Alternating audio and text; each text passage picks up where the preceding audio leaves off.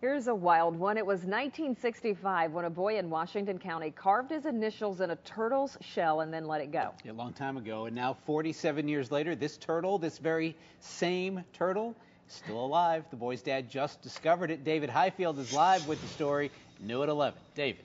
Yeah, Ken, 1965 was a long time ago. To give you an idea, the movie The Sound of Music came out that year. Lyndon Johnson was president, the Vietnam War was going on, and the Beatles were on their second tour across the U.S. It was also the first time this turtle met the Coakley family of Washington County. 85 year old Holland Coakley took us down into his backyard. There's my dog. Zach is actually the neighbor's dog. Truth be told, Zach's really responsible for finding the turtle again after all these years. He was pointing looking at something right here, and as soon as I saw it, it's a turtle. This is the turtle he's talking about. Nothing remarkable until he looked closely. I picked up, picked it up. Uh, oh, jeez, this is Jeff's turtle, and it, it's been here for 47 years.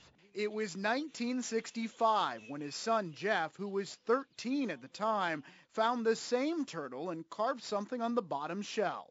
It was a, a JC and down under 1965. Jeff now lives in New York State, but I talked to him on the phone about his reaction when his dad sent him a photograph. I saw my initials and the date on the bottom of the turtle. I just started laughing.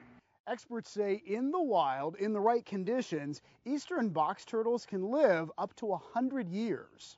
And after keeping the turtle for a couple days, Holland Coakley let it loose again free to wonder for perhaps many more years. He said in the paper that you cooked it up for dinner. that was a joke. yes, that was totally just a joke. He did release it deep in the woods of South Strabane. We tried looking for it tonight, but apparently the turtle has had enough excitement for the week. It is now laying low. Reporting live in the newsroom, David Highfield, KDKA TV News.